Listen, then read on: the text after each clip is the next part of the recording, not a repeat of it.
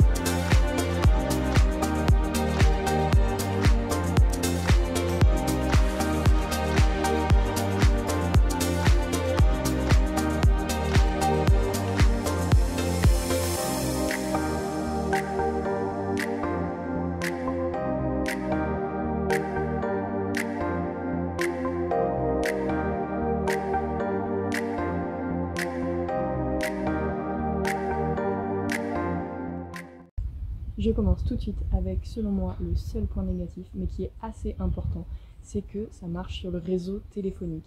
Donc si vous êtes dans un endroit où ça ne capte pas beaucoup, vous allez avoir un GPS très lent, voire un GPS qui ne fonctionne pas du tout, et c'est assez problématique parce que quand on se promène, c'est souvent en forêt, et du coup là, ça devient un peu compliqué de suivre son chien.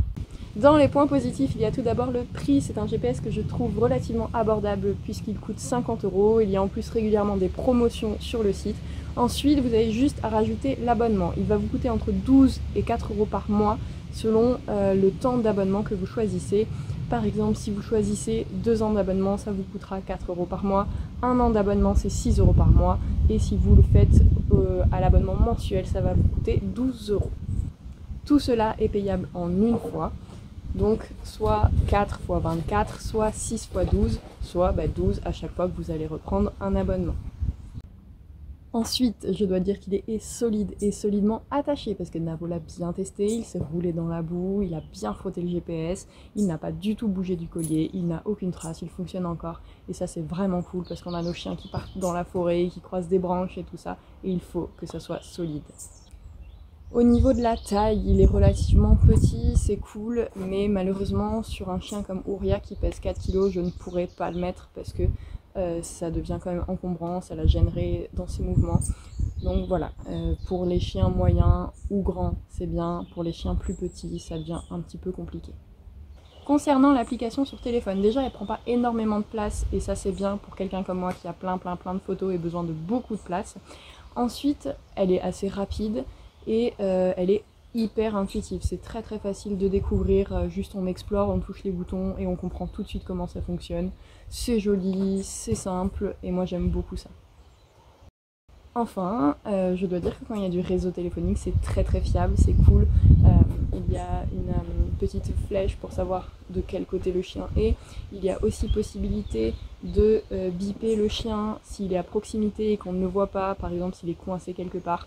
Euh, on peut faire biper le GPS en l'activant.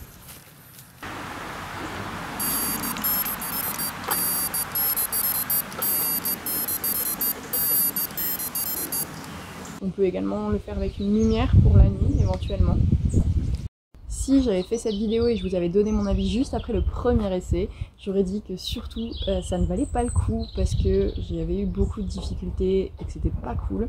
Mais maintenant que j'ai testé dans d'autres endroits, des endroits où ça capte très bien, des endroits où ça capte moyennement bien, je dois dire que je suis globalement satisfaite. Il y a quelques points négatifs et quelques améliorations à faire, mais c'est déjà un très bon outil par rapport au prix.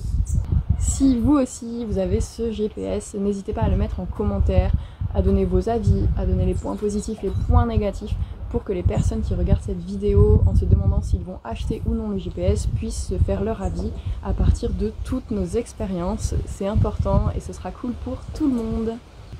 De mon côté, je vais continuer ma journée. Je vous dis à très bientôt pour des nouvelles vidéos qui tourneront autour de la médiation animale et du projet Un chien au collège avec Auria et Napo. A bientôt